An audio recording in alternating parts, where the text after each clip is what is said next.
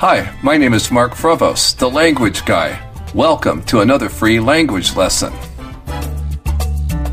Today, I'd like to teach you how to say, I have a lot of good memories. In French, j'ai beaucoup de beaux souvenirs. J'ai beaucoup de beaux souvenirs.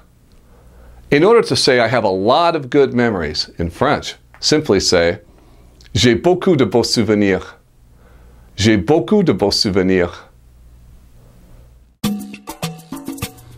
Thank you for learning languages today with Mark Frobose, the language guy.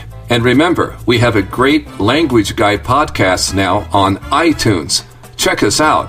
I'll teach you how to become fluent in any language on the planet, one podcast at a time. Also, check out Language Guy programs and languageguycourses.com. That's the fast and easy way to learn how to speak any language on the planet. Well, that's it for now. This is Mark Frobose, the language guy, saying, Learn languages with passion.